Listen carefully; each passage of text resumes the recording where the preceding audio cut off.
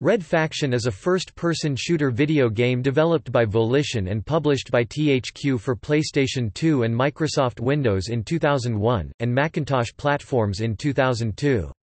A version for the Nokia N-Gage was developed by Monkeystone Games, and the mobile version was developed by Blue Beck. The game was inspired by several works of contemporary science fiction. Red Faction takes place on Mars in the late 21st century. The player controls a miner named Parker who helps lead a rebellion against the Ultor Corporation. The premier feature of the game is its geomod technology, short for geometry modification, which provided destructible environments, allowing the player to destroy certain sections of the scenery in the game. For example, instead of opening a door, a player could blast through the rock surrounding the door. On November 29, 2016, the game was made available for the PlayStation 4 through the PlayStation Network with added features such as trophy support and widescreen resolutions.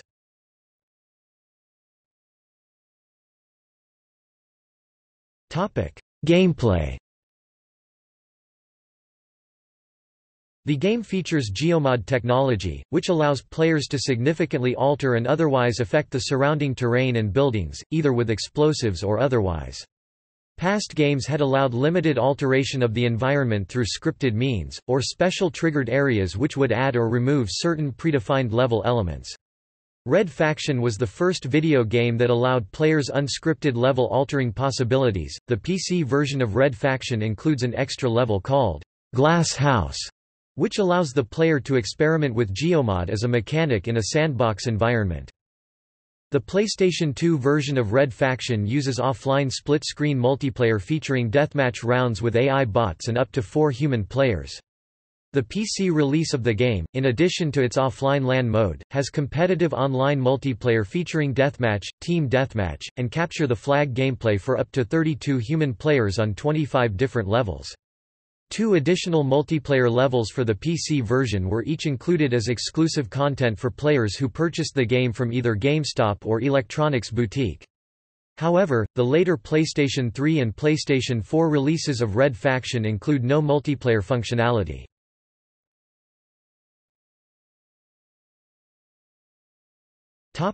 Plot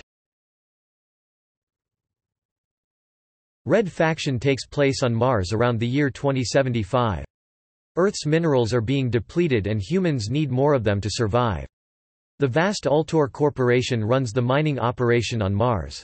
The living conditions are deplorable, human rights for the miners are few, and a disease called the plague is running rampant throughout the colony with no known antidote available—predominantly within the confines of the mine complex. Parker, a downtrodden miner, came to Mars to make a new start in his life taken in by the promises and advantages Ultor has to offer in the mines of Mars. After a routine day in the mine with the typical aggression toward miners and cramped living conditions and poor nutrition, he witnesses the spark that starts a rebellion when a security guard abuses a miner at the end of his shift and heartlessly kills him.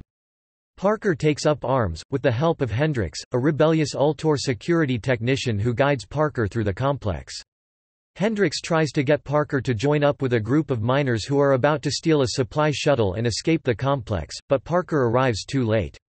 The shuttle takes off, and is destroyed by missiles moments later. Parker traverses through the Ultor complex, eliminating any resistance Ultor throws at him, and even with the help of Orion, a high-ranking Red Faction member kidnapping a high-ranking Ultor administrator, Gryphon, for Eos, leader of the Red Faction. Parker learns from Gryphon about Dr. Capek, who created the Plague. Capek has been experimenting with nanotechnology, and the plague is a side effect of injections at the miner's annual medical checkup. Hendricks directs Parker to Capek's secret underground laboratory, where he and Eos meet up and take down Capek. As Capek dies, he tells Eos there is a cure for the plague but refuses to tell her how to make it and bluntly states, "'Hope you all die'".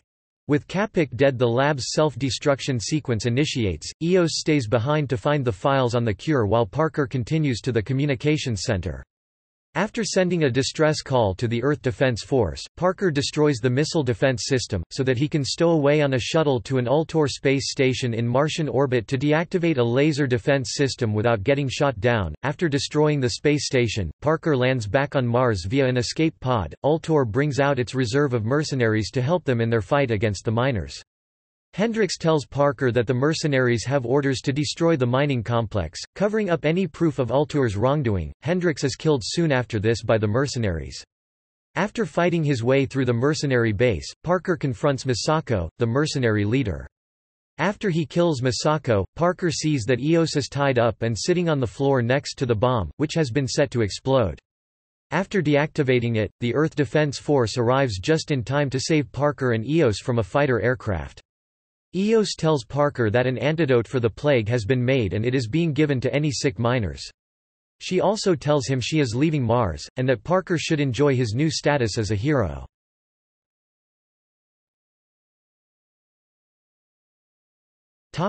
Development Descent 4 was a game being developed by Volition as part of the Descent game franchise, as a prequel to Descent. However, it was cancelled and then the technology behind it and some of the plot, were incorporated into Red Faction. Examples include the main character Parker as well as the Geomod engine. Many fans have pointed out the similarities between Red Faction and the 1990 film Total Recall starring Arnold Schwarzenegger with its setting on Mars and the rebellion against the miners. LED designer Alan Lawrence acknowledged the similarities in a 2014 interview but stated the movie was not used as the main inspiration. Any connection is purely coincidental. Red Faction entered a pre production phase in 1998. The original intention was for every part of the game to be destructible, but this was reduced in scope due to technical challenges and the requirement to guide the player through a linear game. It was created by a small team on a relatively limited budget, and released in 2001.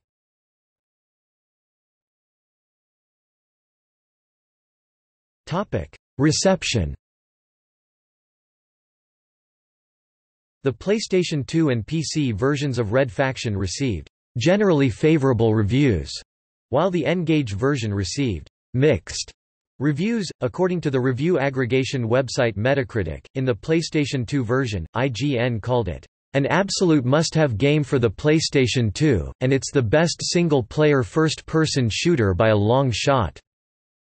GameSpot stated, Although Red Faction rarely outstrips the games it draws inspiration from, the fact that there are times when it shows them up at all is pretty impressive."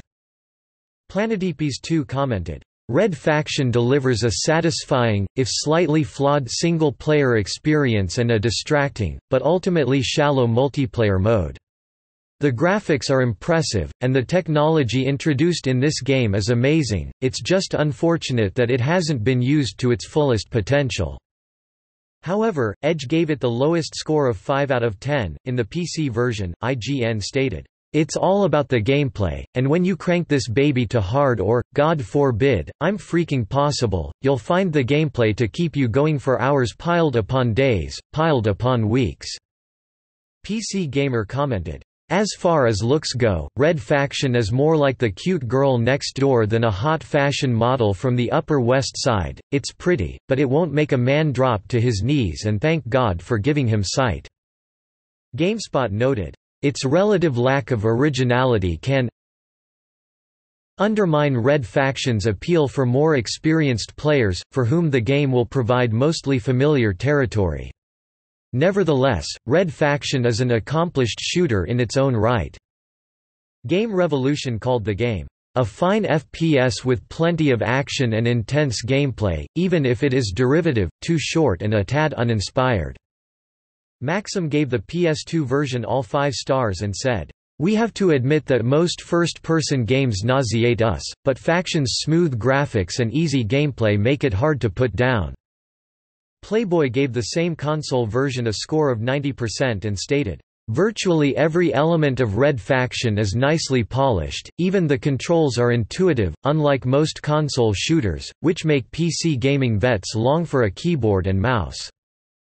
The Cincinnati Enquirer gave the N-Gage version 4 stars out of 5 and called it, a clever port from the popular console and PC versions.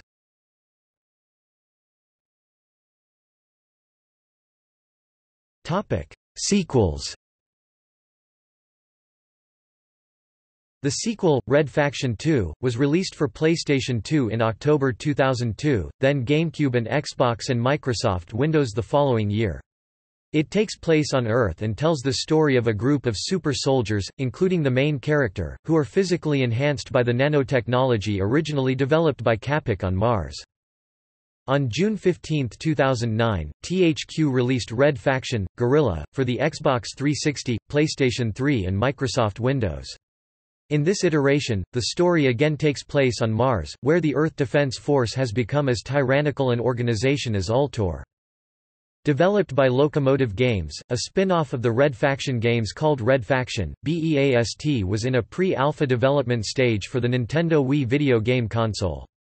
However, with the closure of Locomotive Games the game has been abandoned, although several models and a full-length trailer were released to the public upon the closure of the studio. On June 4, 2010, the next installment was announced with the trailer for Red Faction, Armageddon. The story occurs approximately 50 years after the events of Red Faction, Guerrilla.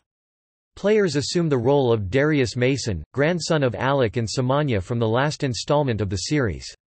In Armageddon, the Martian colonists now reside underground following the destruction of the machine responsible for terraforming Mars. Years after this event, creatures encountered in the first game are again released. Red Faction – Armageddon was released on June 7, 2011.